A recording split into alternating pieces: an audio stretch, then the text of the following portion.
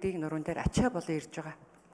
Энэ эрүүл мэндийн даатгалын сангийн хуримтлалыг ард иргэдэд нь даатгуулагчд нь зориулдаг байх ийм л тогтолцоог бүрдүүлэх гэж хичээж байгаа болохоос эрүүл мэндийн сайд энийг аваад ямар нэгэн буруу зүйл хийх юм уу хүн амьтан хэрэг төгт арах асуудал би гарахгүй гэж бодож байна. Өмнө нь тийм зүйлүүд байсан юм блэ. За миний хувьд бол хүүхдэн шингэн алдаад хоолойж идэж чадахгүй харж байгаа тэр ихийн нулимс зовлон жаргал шингэсэн тэр мөнгийг идэж уух юм уу? Хувьдаа зориулах асуудал бол байж таарахгүй.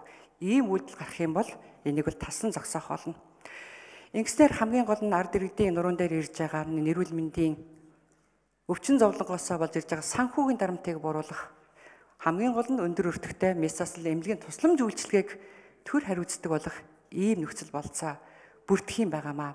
Дээр нь бид нэр энэ эрүүл мэндийн даатгалын сангийн хоримтлалыг тоног төхөөрөмж цалин дүгнэ гэж яриад байх юм.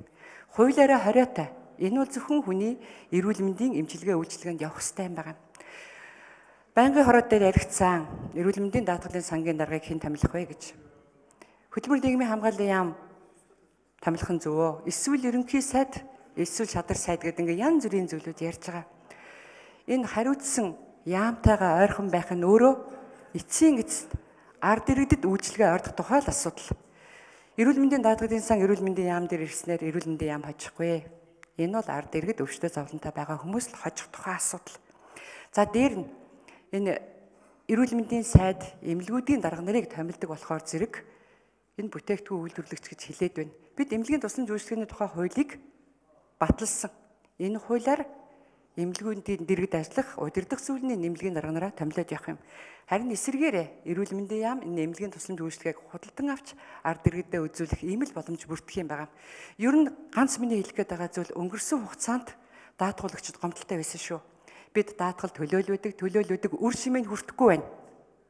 Тэгэхээр бид бол энэ эрүүл мэндийн даатгалын санд хоримтлагдж байгаа. Энэ хоримтлалыг ард иргэдэд нь тэр мөнгөө төлсөн хүмүүст нь тэр өвдсөн зовсон хүмүүст нь ойртуулах гэж л энэ өөрчлөлтийг хийх гэж байгаа. Монгол Ардын намын сонгуулийн мөрийн хөтөлбөрт энэ зүйл заалт орсон. Засгийн газрын үйл ажиллагааны хөтөлбөр болсон. Үүнийг л хэрэгжүүлэх тухай асуудал. Тийм учраас та бүхэн минь энэ эрүүл мэндийн даатгалын сан зариулалтаараа эрүүл мэндийн яам дээр ирж байгаа асуудал ямар нэгэн буруу зөрүү зүйл болно гэж ингэж бодоод байгаа энэ асуудлаа би орхичооч гэж та бүхнээсээ хүсэж байна. Эрүүл мэндийн даатгалын сан эрүүл мэндийн яамд ирснээр энэ ард иргэдэд очих эмчилгээ үйлчилгээд ойртно.